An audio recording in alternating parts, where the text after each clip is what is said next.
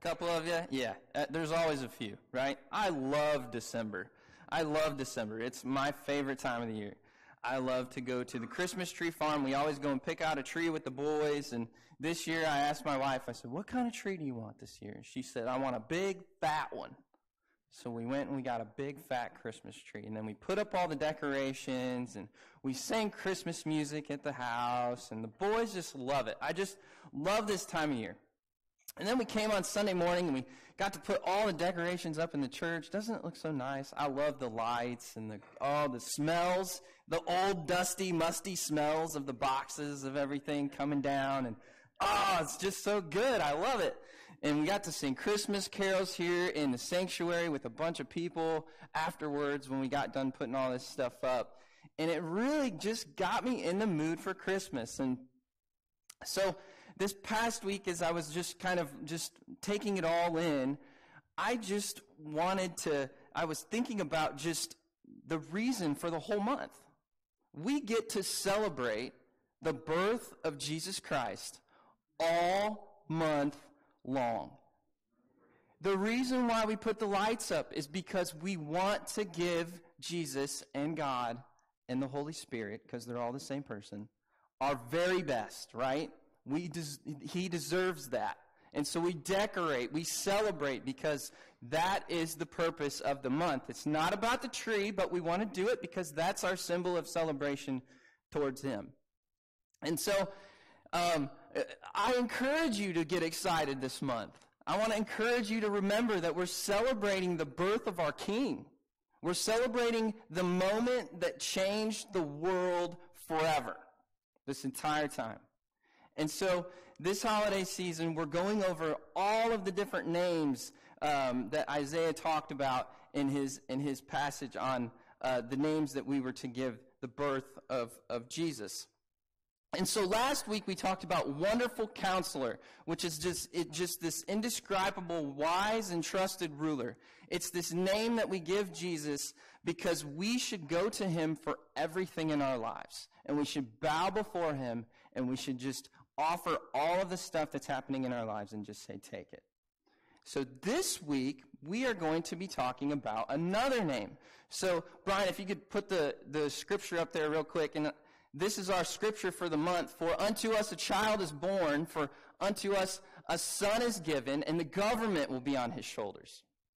And he shall be called Wonderful Counselor, Mighty God, Everlasting Father, Prince of Peace we are celebrating this month the birth of what Isaiah had prophesied 700 years before it even happened the birth of this guy. And so today we are going to be looking at mighty God.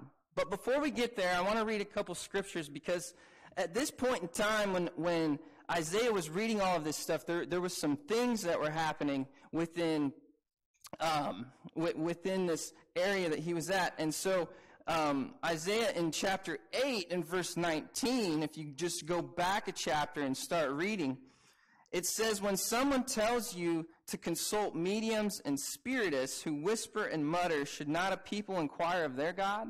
You see, at this time, there were a bunch of different ways that people were trying to figure out what was happening.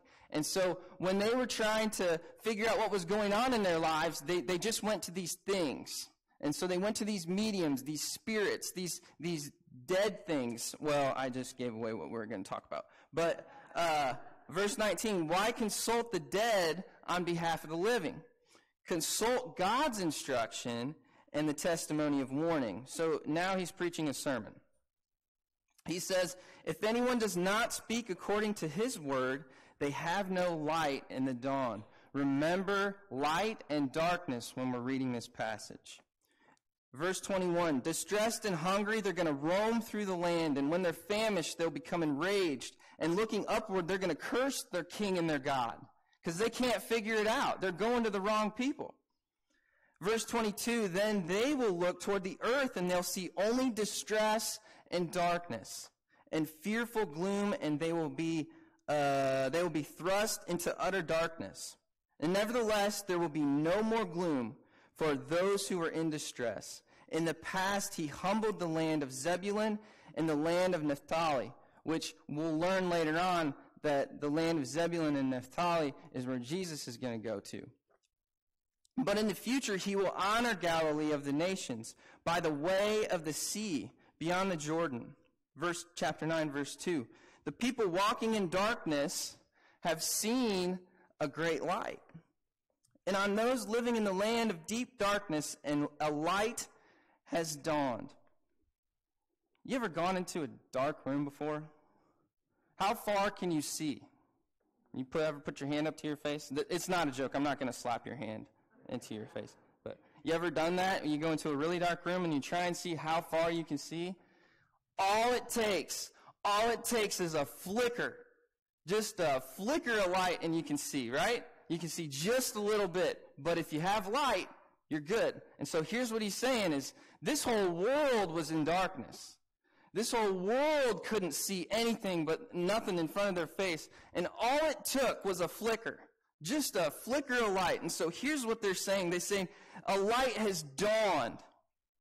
And it says that you have enlarged the nation and increased their joy, and they rejoice before you as people rejoice at the harvest, as warriors rejoice when dividing the plunder. For as in the days of Midian's defeat, you have shattered the yoke that burdens them and the bar that crosses their shoulders, the rod of the oppressor. You see, Midian's, that time was during the time of Judges. Do you remember when we were talking about the time of Judges?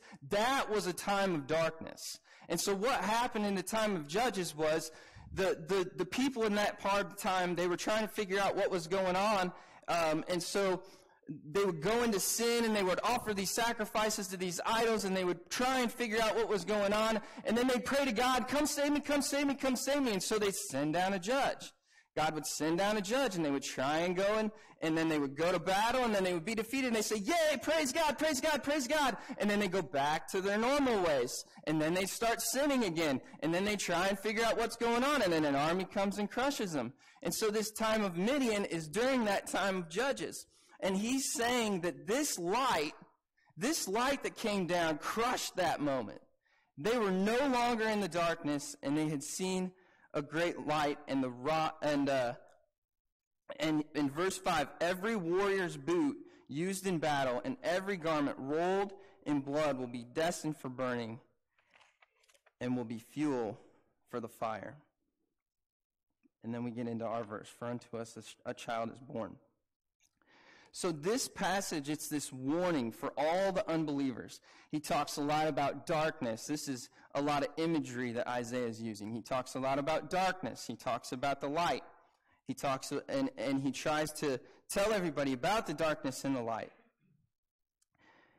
And so this is a confusing time for the Israelite people, and Isaiah is trying to lead them in the right direction. He's trying to say, hey, look, we've been in darkness for a long time, but there's going to be this light that's going to come, and you're just going to see a little bit of it, because it's dawning. It's not yet here. You're going to see the flicker because you haven't seen him yet. And so what they did was they're trying to seek advice in the wrong direction through these mediums, like I said, through these spirits. They're trying to figure out how do I do this? Because I know I'm supposed to pray to something. I know I'm supposed to talk to somebody, but I don't really know who it is. And so they're trying to talk to these dead people. And so here's what Isaiah says in verse 19, and this is the focal point that we need to understand about our mighty God. He says, Why consult the dead on behalf of the living? Why would you talk to a dead person? You're not going to get any, they're not going to talk again, right? They're dead. They're not coming back. They will go to heaven, right? Or to hell, whichever the life they lived. He's saying, Isaiah is saying, why are you talking to these people? What he's trying to say is our God is a living being. We serve a mighty God. He's all present. He's all knowing. He's all powerful. He's everywhere. And so Isaiah is saying, you're talking to this dead person. Why? We serve a living God. So God comes in three ways, right? He's omni. Let me, let me start here from, from, I don't want to get off track. He's omniscient. We'll start with that one, which all that word means is he's all knowing. He knows everything that's happening all the time.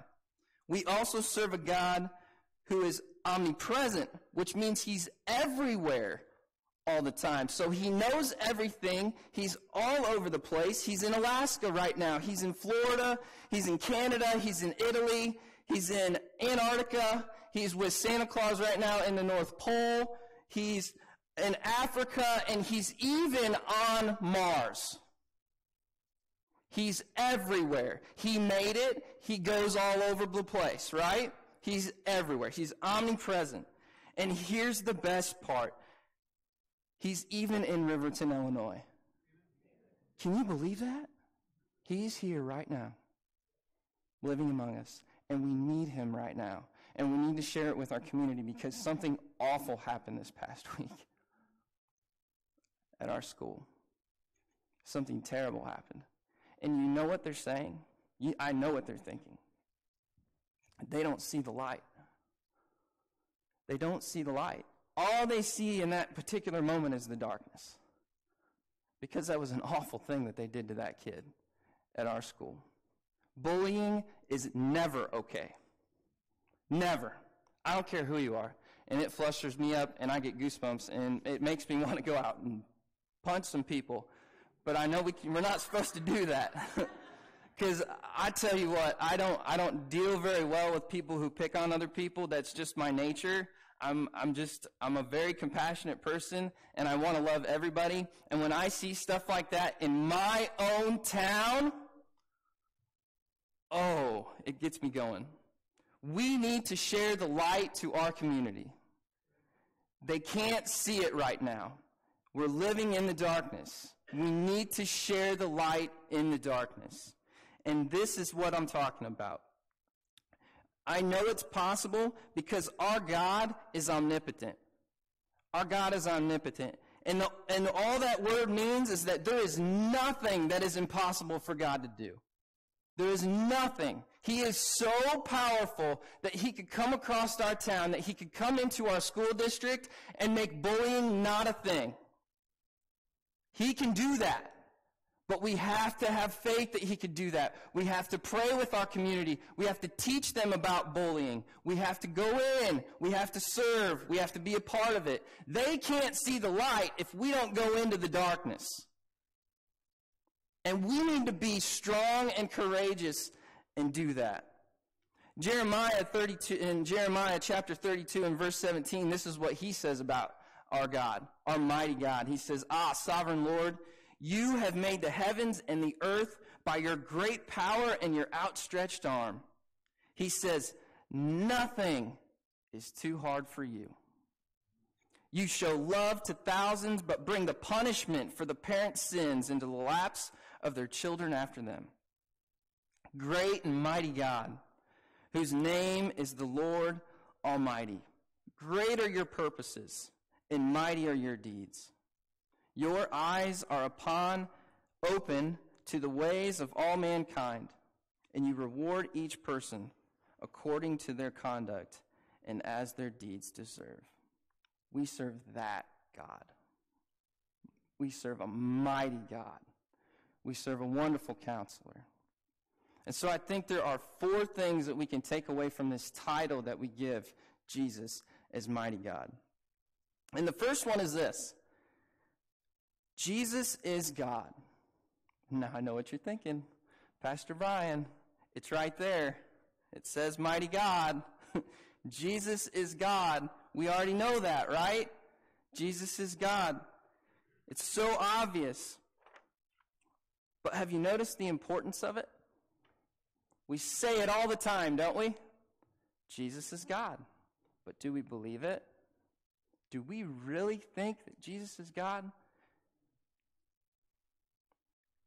One thing we need to remember is that Jesus is one of three, right?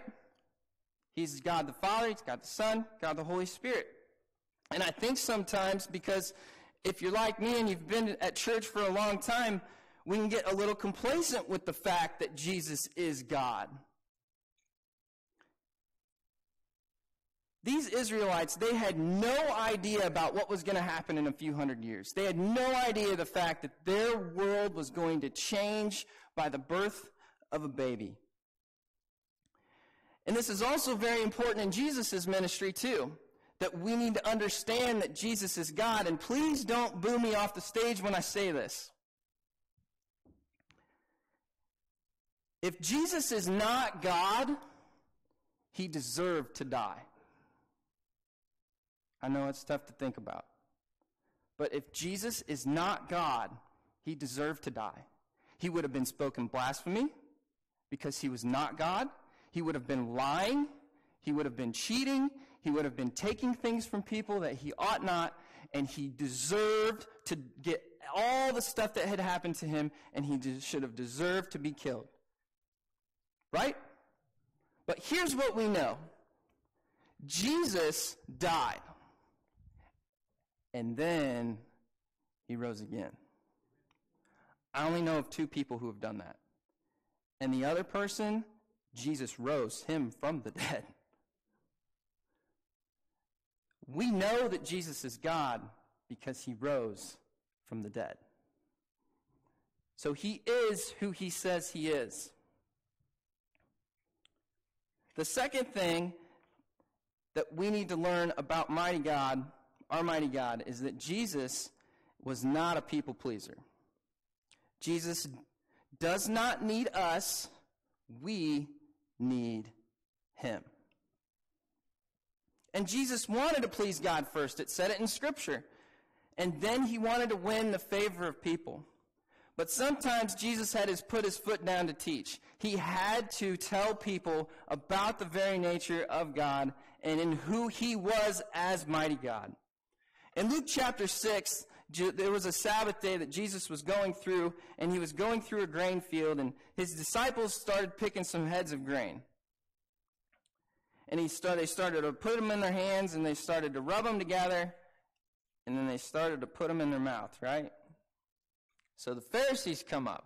These are the teachers of the law, and they say, Why are you doing what is unlawful on the Sabbath?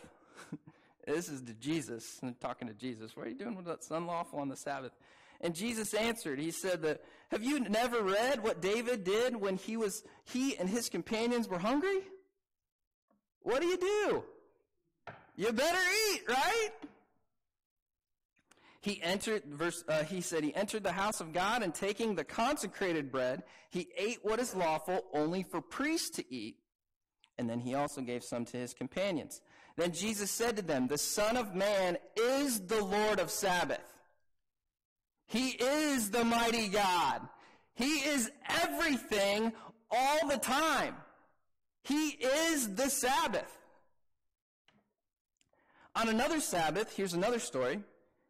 He went into the synagogue and he was teaching a man who was there, and he was shriveled up. His arms couldn't move. And the Pharisees and the teachers of the law were waiting for Jesus. They were sitting there like this, like here behind this tree, you know? And they're like, he's going to do something. I'm going to get him. And so Jesus went over to this man who's a shriveled man and he said, Stand up. And so he put it in front, and the Pharisee saw, and he said, Stretch out your arms. What he said. Just stretch out your arms, the shriveled man. He performed a miracle on the Sabbath.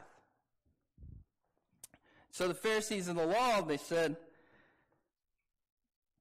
they were trying to figure out a way. They didn't say anything, I'm sorry. The Pharisees and the teachers of the law were so mad that they began to try and figure out a way to kill Jesus because he kept doing stuff on the Sabbath. They didn't understand. These, the, the people who read Scripture and studied it time and time and time again, the people who went to church on Sundays time and time and time again, they, they knew who all of this, but they didn't understand that Jesus is God. They didn't understand that He is the Sabbath. He is the beginning. He is the end. He created the stars and the moon and the sun. He created that kid that beat that other kid. He created everybody. They didn't understand that. And they were trying to figure it out. This is why understanding that Jesus is God is so important. We need to remember that even Jesus didn't please everyone. And most of the time, people were never in the middle of how they felt about Jesus. You ever heard somebody who was in the middle? So, here are the, here are the ways that I've seen Jesus in with different people. It's, we're going to bow at your feet. We're going to worship you. You are the best thing since sliced bread. I love you, Jesus. Love you, Jesus. Love you, Jesus. And then there's the other people who are over here who are saying, You are performing miracles on the Sabbath. You are doing everything wrong. I hate you. I hate you. I hate you. Not one time in, in, in Scripture that I've seen somebody who was just like, Nah. It's just Jesus. Not one time have I seen that in Scripture. He's, he's just he's just Jesus. There, somebody always picked a side.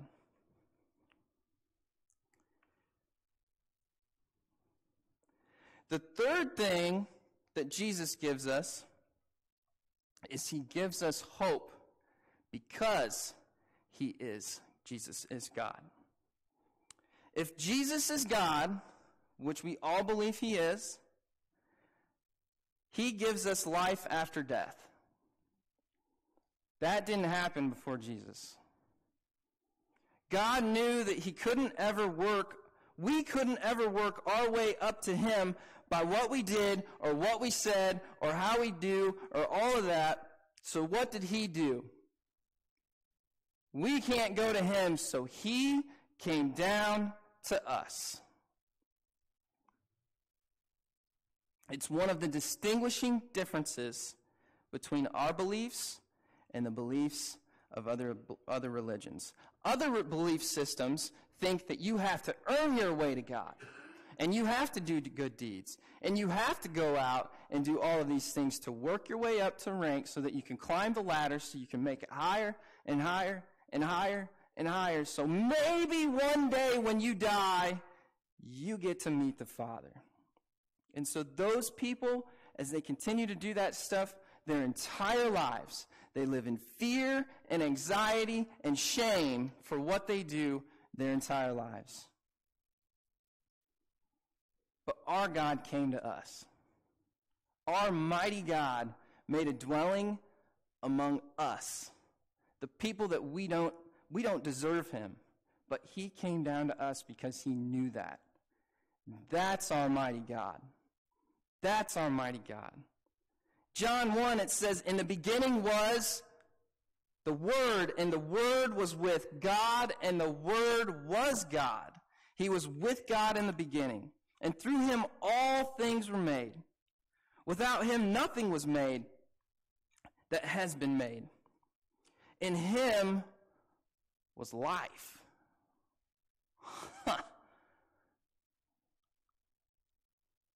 And that life was the light of all mankind. You mean to tell me that before I believed in Jesus, I was dead? The light shines in the darkness, and the darkness has not overcome it. Do you want to save a community? Share your light with it. Go down to verse 14 in John chapter 1. It says that the Word became flesh, big W. Word became flesh, and he made his dwelling among us. He came down to us. We have seen his glory, the glory of the one and only Son who came from the Father, full of grace and truth. He never came to condemn, he came to save. And that was his point. We serve a God who is just so willing to come to us. And He is our hope, He is our future. He is the one that shines the light in the darkness for all people. And here's the fourth thing the fourth thing is that Jesus is mighty. Isaiah knew the people needed to know that they were powerless without God. They had nothing, nothing left. They were weak and they were living in darkness, this entire time. And here's what John says in the Gospel of John, chapter 1, about the mighty way of Jesus. John chapter 1 and verse 9, it says, The true light that gives light to everyone was coming into the world. He was in the world, and though the world was made through him, the world did not recognize him. He came to that which was his own, but his own did not receive him. Yet to all who did receive him, to those who believed in his name, mm, he gave the right to become children of God. All you have to do is believe that Jesus is God. Verse 13 Children born not of natural descent, nor of human decision, or a husband's will, but born of God. That's Almighty God. He is the one who takes us out of the darkness. He is the one who shines the light in the darkest closets of our entire lives. He is the one who wants us to share that light with our community. Paul, he wrote it this way. He wrote to a church in Ephesus, he says, As for you, you were dead in your transgressions and sins, in which you used to live when you followed the ways of this world, and of the ruler of the kingdom of the air, the Spirit who is now at work in those who are disobedient. All of us lived among them at one time, gratifying the cravings of our flesh and following its desires and its thoughts. But like the rest, we were by nature deserving of wrath. But because of his great love for us, God, who is rich in mercy, made us alive with Christ even when we were dead in our transgressions. It is by grace that you have been saved. It is by grace that you have been saved, not by your works. And God raised us up with Christ. Wait a minute, what? God raised us up with Christ. Amen. God raised us up with Christ even when we were dead in our transgressions. Oops, sorry. With, with him in the heavenly realms in, Je- in Christ Jesus, in order that in the coming ages he might show the in- incomparable riches of his grace expressed in his kindness to us in Jesus Christ. For it is by grace, he says it again, for it is by grace that you have been saved through your faith. And it is not from yourselves, but it is the most best present, most best gift, most best thing you could ever get in your entire lives, and it's free. It is the gift of God, not by works, so that no one can boast. For we are God's handiwork created in Christ Jesus to do good works, which God prepared in advance for us to do. We serve that mighty God. We serve a man who just wanted to give everything just so that we could have eternal life. And he sacrificed his son to do it. Let us remember that this month. We get to celebrate the birth of Jesus Christ. We get to celebrate the fact that God came down to us to save us. We get to celebrate the fact that it was, we live in a dark world and we get to share the light with the community, with the people around us at work, with our family members. And we need to understand that people need to see that and we need to share it with others. Let's remember this exciting month of December, even though some people are not excited about Christmas time. Let's remember the importance and the reason behind this entire month, and that is to celebrate the birth of our, our, our Savior, Jesus, who is a great and mighty God. Let's pray. Mighty God, everlasting Father, wonderful counselor, Lord, we thank you for all of the things that you've done for us. Father, I am so grateful that you came down to us.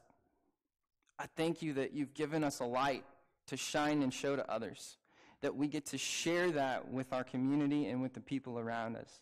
Father, I pray right now in this town that we can be bold, that we can be strong, that we can be able to share what it is that's so incomparable and indescribable about you with our community. I pray that we can love on our, on our fellow brothers and sisters here in this community, that we can share our faith.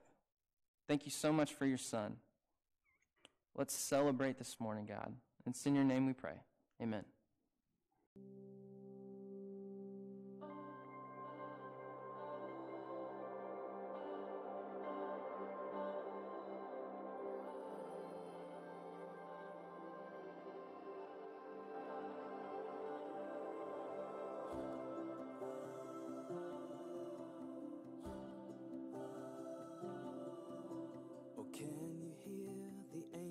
Angel song that rang so sweet and clear? When heaven's light and music fell, and mercy found us here. Alpha and Omega. Alpha and Omega. Son of God, Son of God, Emmanuel. Emmanuel, King of Kings. King of Kings. Lamb of God. Light of the world. Light of the world, Lion of Judah. Lord of all, Lord of all. risen Lord, Mighty One. Mighty One. Redeemer, Redeemer. risen Lord, Savior. Son of Man, Son of Man. Wonderful Counselor, Wonderful Counselor. Mighty God. Mighty God. Prince of Peace. the Prince of Peace, Prince of Peace. Jesus. Jesus, Jesus, Jesus. Jesus.